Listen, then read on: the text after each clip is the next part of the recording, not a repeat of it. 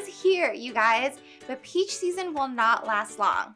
So I am here today to show you a couple different ways to freeze the peaches. One of the easiest ways to freeze peaches is flash freezing.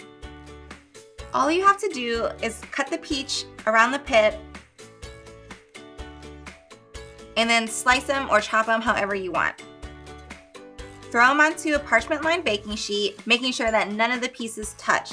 Place the baking sheet in the freezer for about two or three hours until the peaches are firm. Once they're firm, you can throw them in a plastic bag labeled with what's inside, how much you're putting in there, and today's date. Throw them back in the freezer and you can keep them in there for about two months.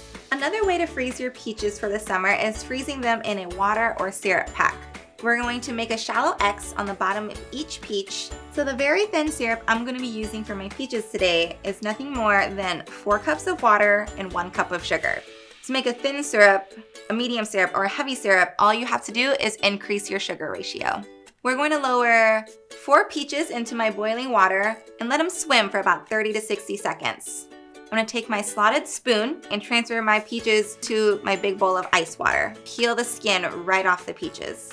Once your peaches are all nice and peeled, slice them or chop them however you want.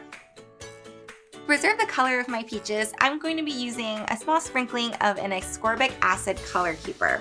Once your peach slices are prepped and ready to go, all you have to do is pack them into your freezer safe container and then pour your syrup over them. Seal them, label them, throw them in the freezer, and you're good to go for 8 to 10 months. Whether it's peaches for smoothies or peaches for pies, freezing them in the summertime when they're ripe and juicy is a sure way to make sure you have perfect peaches all year long.